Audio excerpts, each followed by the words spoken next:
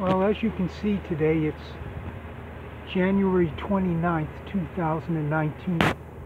Toronto today, yesterday, two, Monday, January 28th, had a record snowfall for one day.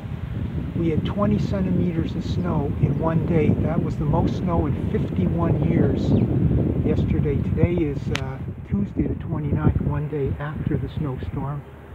And as you can see, we've accumulated this much snow.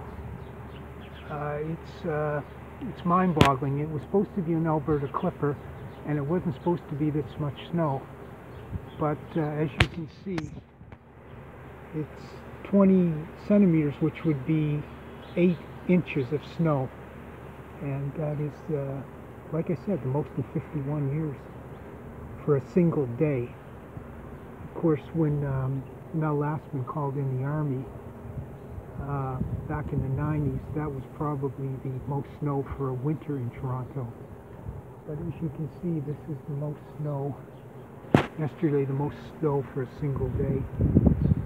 And it's bitterly cold here. It's, I don't know what it is, it's in the minus something.